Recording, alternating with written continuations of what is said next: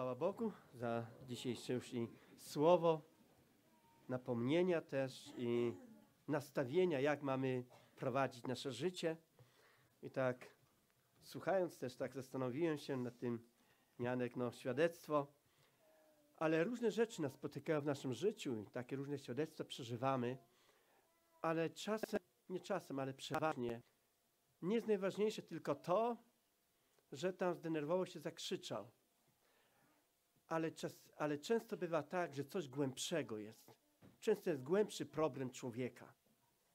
Jest tylko reakcja, czasami bywa taka czy inna, ale czasem jest głębszy problem człowieka, z którym ma, z którym sobie nie daje rady, którego jeszcze mocno trzyma, który jest ważniejszy niż Pan Bóg, ważniejsza jest Jemu służba, tylko trzymają te inne rzeczy, które maskuje się. Ale w takich sytuacjach różnych trzeba później zastanowić się naprawdę, z czym mam problem. O co prosić Boga o przebaczenie? O co zostawić i o co prosić Boga, aby mnie z tego no, uwolnił, jeżeli jeszcze mnie to mocno trzyma. Przeczytam fragment Bożego Słowa z drugiego listu do Koryntian, zanim przyjdziemy modlitwy, z piątego rozdziału. Może przeczytam te dziesięć wersetów z piątego rozdziału drugiego listu świętego Pawła do Koryntian, a zatrzymam się na jednym.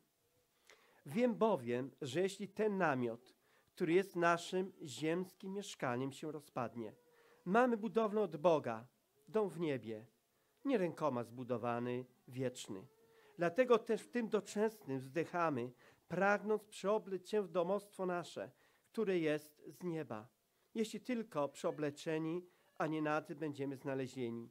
Dopóki bowiem jesteśmy w tym namiocie, wzdychamy, obciążeni, ponieważ nie chcemy być zewleczeni, lecz przyobleczeni, aby to, co śmiertelne, zostało wchłonięte przez śmierć.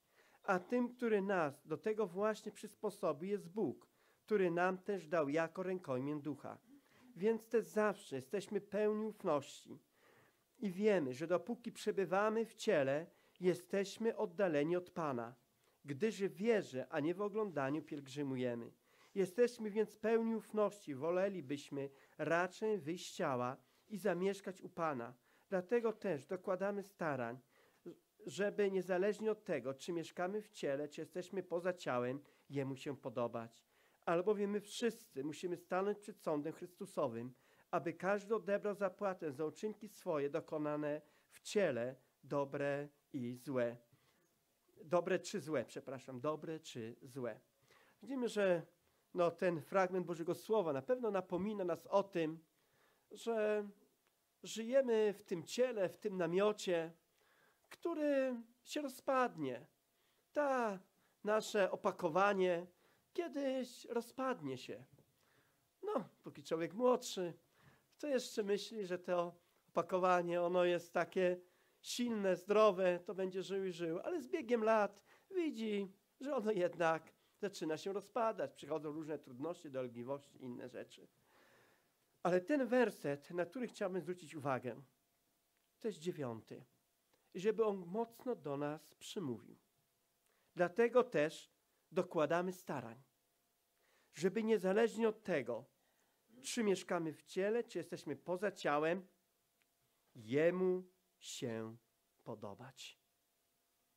Róbmy wszystko. Żyjmy tak.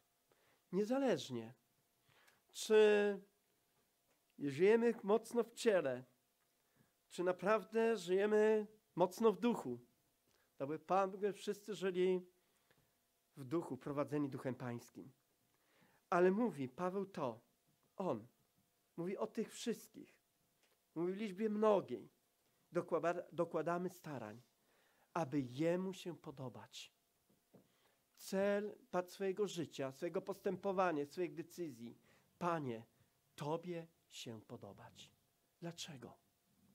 Wszyscy, wszyscy staniemy przed sądem Chrystusowym. Przed sądem dla Kościoła, dla dzieci Bożych. Mówi o przed tą stolicą Chrystusową, kiedy staniemy przed tym sądem Chrystusowym. Dobrze to rozumiemy, prawda? ten sąd nad tymi, którzy będzie sąd tym, którzy nie wierzą Bogu, sen potępienia i będzie sąd nad narodami. Ale tu jest mowa o właśnie o tym sądzie. Abyśmy się Jemu podobać. Róbmy wszystko. Starajmy się tak żyć, postępować w każdej dziedzinie naszego życia. W każdym naszym postępowaniu, w naszym zachowaniu, w każdym w naszym wyglądzie, we wszystkim. Starajmy się Jemu podobać, żeby On miał w nas upodobanie. Przecież brat wspominał o tym, że apostoł Paweł mówi, otrzymuje, oczekuje mnie wieniec sprawiedliwości. Żył w sprawiedliwości Bożej. Jeżeli by nie żył sprawiedliwie, tak jak Bóg nakazywał i jemu dał tą swoją sprawiedliwość, oby nie otrzymał więcej sprawiedliwości. Jeżeli nie będziemy żyć sprawiedliwie, tego więcej nie otrzymamy.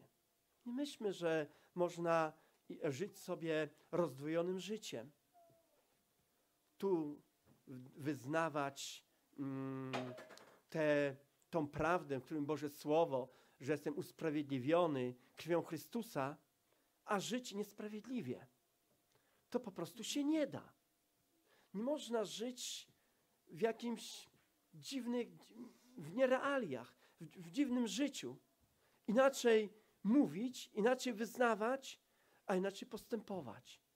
Ale starajmy się Jemu się podobać.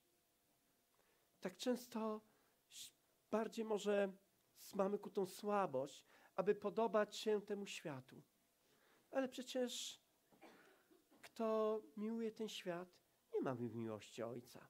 Jakby nie chciał go, Jemu się przypodobać, jakby nie chciał Jego pozyskać, nie ma miłości Ojca. Starajmy się przypodobać Chrystusowi. To życie na tej ziemi jest przejściowe, chwilowe. Tylko przechodzień, uchodźca, wędrowiec. No tak jest na tej ziemi, prawda? Idziemy do Ojczyzny Niebiańskiej. Tam chcemy otrzymać od Pana jak najwięcej. Tam, kiedy wejdziemy, no każdy by chciał gdzieś dobry, sługo, dobrze sługo wierny. Dobrze wierny mi byłeś. Wejdź do radości Pana swego. Każdy te cudowne słowa chciałby słyszeć i myśli o tym, prawda, żeby z ust Pana Jezusa usłyszeć kiedyś te wspaniałe słowa. Dlatego rób wszystko. Staraj się, módl się, czytaj słowo, wnikaj w Jego, w nie, aby się Jemu podobać.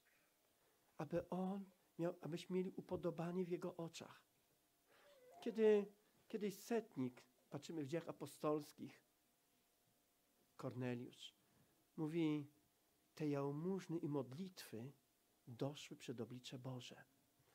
On jak rozumiał, jak umiał, jak był, ile słyszał z zakonu Bożego, on tak stara się to wypełnić. I to doszło do uszów Bożych. Róbmy wszystko. Starajmy się tak żyć, aby się Jemu podobać. Tam będzie nagroda, tam będziemy z Nim wiecznie. Tutaj możemy wiele pozyskać na tym świecie. Mocno się podobać do tego świata. Możemy wiele zyskać z rzeczy doczesnych, materialnych. Ale jak utracić swoją duszę? Utracić nagrodę w niebie. To byłoby to wielkim rozczarowaniem i bólem dla każdego dziecka Bożego, dla każdego chrześcijanina, który o tym myśli, że będzie zawsze z Panem, że to będzie błogosławieństwo, że tam, gdzie się spotka z Jezusem, no to będzie dla niego wielką radością. Jezus z otwartymi ronami go przyjmie. Przecież każdy, chociaż czasami jakaś myśl przez to przejdzie, szczególnie w trudnych momentach, kiedy nas niesprawiedliwie poniżają, kiedy nas niesprawiedliwie osądzają, kiedy niesprawiedliwie nas obgadując, obgadują, bo tylko powierzchowność pewną zobaczyli i z tego wyciągli wnioski, nie wiedząc głębi postępowania, przemyśleń. Yy, jak naprawdę cośśmy chcieli uczynić, a jakoś to inaczej wyszło. I w tych momentach mówię, Panie, Ty jesteś jedynie sędzią sprawiedliwym. Panie, Ty nie masz względu na osobę. Ty, Panie, widzisz, że starałem się, chciałem, no, myślałem inaczej, a wyszło inaczej. Ale to, co pozostawić, to słowo. Jeszcze raz, róbmy wszystko. Starajmy się żyć tak, aby Jemu się podobać. Amen.